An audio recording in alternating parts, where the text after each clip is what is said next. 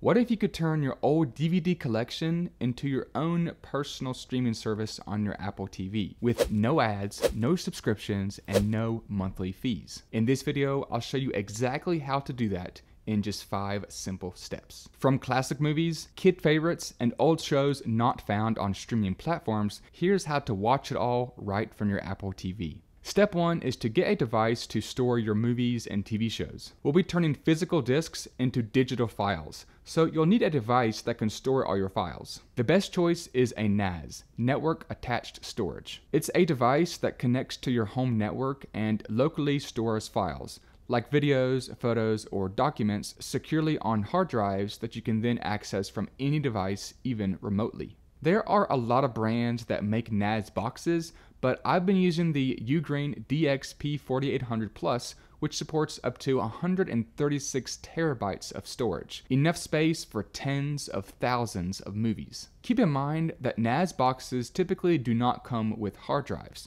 so you'll need to choose one and purchase those separately. The Ugreen NAS offers wide compatibility with multiple drive types and sizes from various brands, including regular updates to support third-party hard drives and SSDs based on user feedback. For my setup, I'm using several 4TB 3.5 inch drives, and installing them in the Ugreen NAS is incredibly easy. No tools or screws are needed. You just take the included key and unlock the hard drive tray, pop the handle out, Slide the tray out, pull out the clamp arm, drop in the drive, snap the arm back into place, and slide it back in and lock it. That's it. Very easy. Connect the NAS to your network using the included 2.5 gigabit or 10 gigabit Ethernet cable, whichever your network supports. Then walk through the simple, beginner-friendly setup process to set up your hard drives based on your storage and backup needs. Even if you're new to a NAS, the Ugreen NAS is very beginner-friendly. Now, what really sets the Ugreen NAS box apart from all the other NAS boxes are the free apps that you can install on the NAS. There's Home Assistant,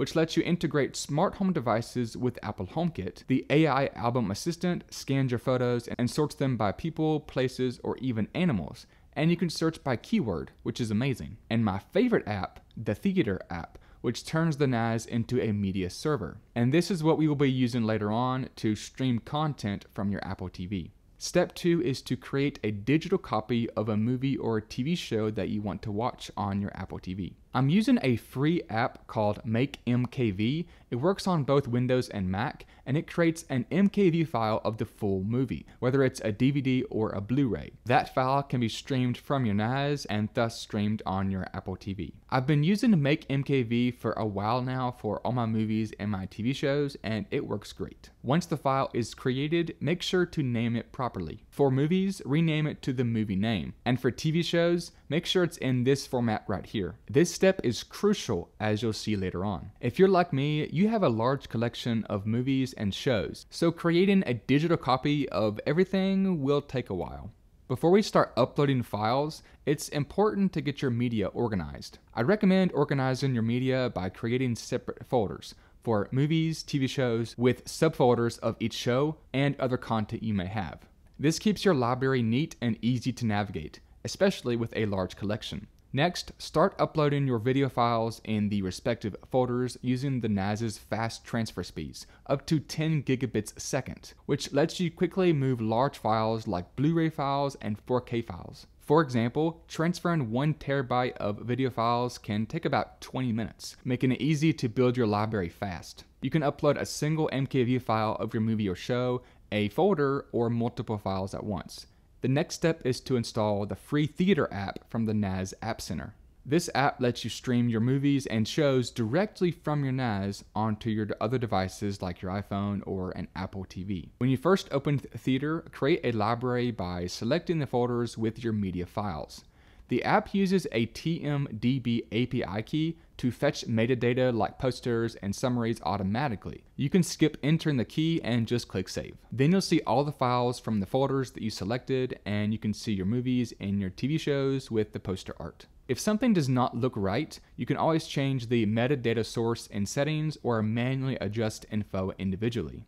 To add media from other folders later on, just add the folder in the settings of the Theater app. It'll scan and import everything automatically. New files added to those folders will appear automatically, or you can tap the sync button to refresh your library manually. By the way, Ugreen is sponsoring this video and sent out their DXP 4800 Plus NAS and these hard drives to test out. If you want to test this setup yourself and start streaming your own content on your Apple TV, then I will leave a link in the description below for 15% off their NAS. And a huge thank you to Ugreen for sponsoring this video and supporting the channel. Now let's take a quick tour of the Theater app before I show you how to get your content on your Apple TV. The interface is clean and simple with sidebar tabs for your homepage, recently played, and library.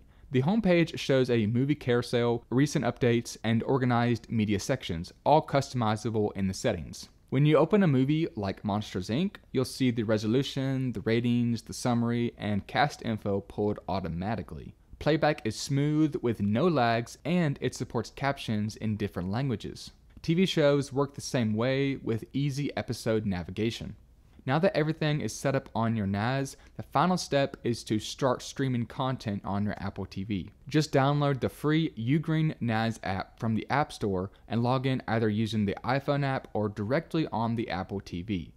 I prefer using the iPhone app because it's the easiest and I don't have to type anything in. Once you're in, the interface is similar to the NAS, with tabs to browse your library, continue watching, or view recently added content. The sidebar has a few tabs to view your media, and the categories section allows you to separate movies from your TV shows. Viewing a movie on the Apple TV is surprisingly smooth with no playback issues playing, rewinding, or fast forwarding, and captions can be enabled as well. TV shows look similar with episodes listed at the bottom. A search function is helpful if you want to search for a specific movie or show to watch.